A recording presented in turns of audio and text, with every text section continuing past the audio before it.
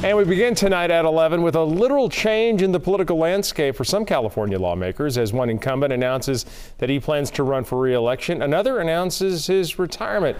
California Congressman Josh Harder announcing his re-election bid today, but for a different district. Harder announced he is running for the new 9th congressional district because the political maps were just redrawn. The new boundaries encompass the majority of San Joaquin County, including Tracy and Manteca. Harder already represents those cities. The new district also includes parts of what had been Representative Jerry McNerney's district, and he is not running for re-election. KCRA 3's Orko Manna is live in our newsroom tonight after talking to Harder about these changes. Orko? Well, Edie, Representative Harder says the new lines as a result of the redistricting are not the best, but he's taking the changes in stride. He tells me the new Congressional District 9 is his best path forward, especially in light of Jerry McNerney's retirement announcement.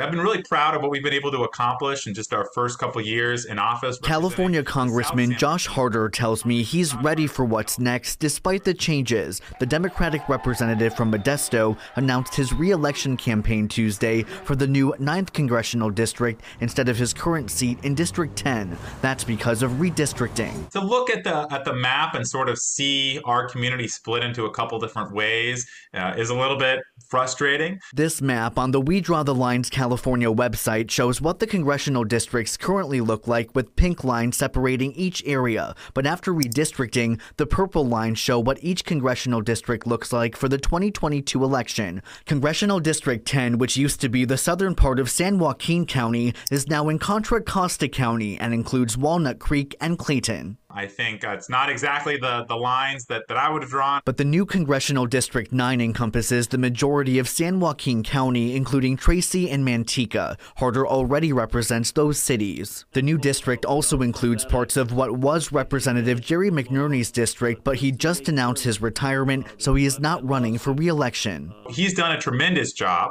and um, it'll be it'll be sad to see him go. But I wanted to make sure uh, that we were doing everything we can to pick up the baton and still continue uh, to work on all the same issues that I know he's prioritized, uh, as well as what, what our office has done. Harder telling KCRA 3 McNerney's seat being wide open sealed his decision to run for District 9 instead of District 13, which some had thought he might go for. I think the 9th Congressional District uh, makes a lot of sense. It's essentially San Joaquin County. Um, and I think if you look across Lodi, Stockton, Manteca, uh, Tracy, there's very common issues. So I think this is the best continuation of the work we're doing. And I'm so excited uh, to, to work for the future.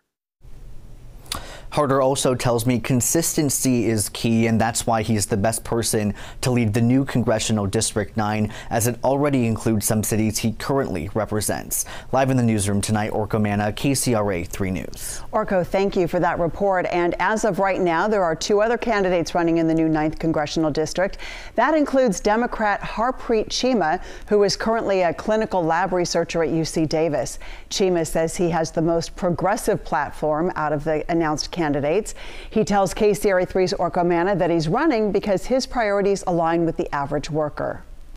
And I, you know, felt like I someone had to step up and run and try to fight on behalf of just the average American worker, regardless of which party they're in, regardless of, um, you know, who they're supporting. You need someone in Congress who's willing to take on some of the major corporations and the wealthy donors and fight on behalf of American workers.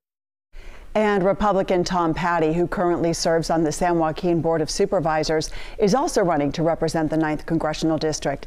He spent his whole life in that region and has worked with many government bodies and nonprofit organizations.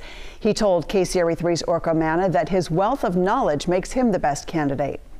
My experience serving as a county supervisor, I believe, has given me a great advantage and a front row seat to the needs of our community. I'm looking forward to being their voice in Washington and representing locally the best interest for this region.